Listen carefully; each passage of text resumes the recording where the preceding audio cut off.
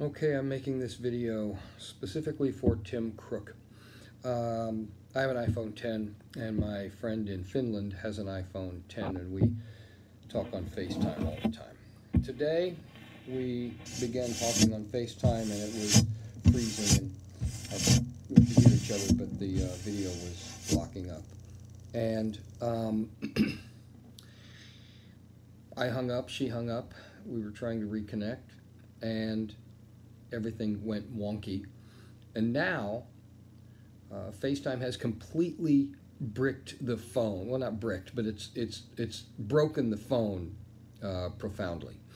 I can't do anything. As you can see, it thinks I'm in a FaceTime call.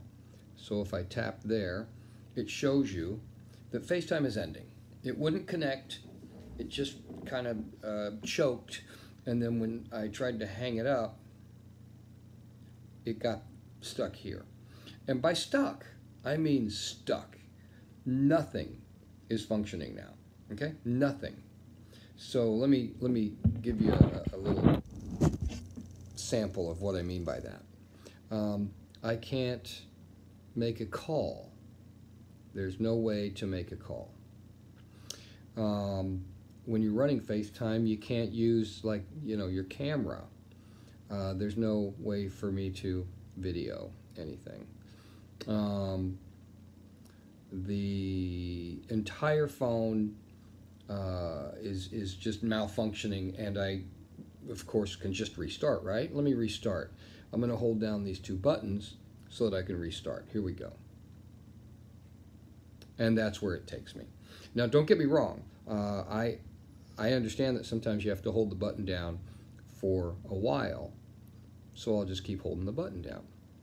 And restart should come up right over this, right? Well, it doesn't. It never does. I can't get out of this situation. What in the hell are you thinking, Apple? Tim, stop trying to force me to buy uh, your iTunes products and start focusing on the user experience. You insipid moron. There was a time in Apple's past when, if this happened on a device, someone would walk into a room of nerds and start firing people until someone figured out how to make the product function the way it ought to function. Okay, Tim? If you can't do it because you're a different kind of person, then hire someone who can and stop putting all of your uh, company's attentions in marketing to me. Make the product what it used to be so that we can fucking use the fucking product, which is awesome. You know what sucks the most about this, Tim? This is still the best product for these uses. You've made the best product, but step by step, you're just letting it go to shit.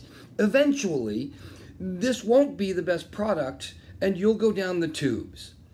Please fix this. I love Apple products. But you're making it harder every friggin' day.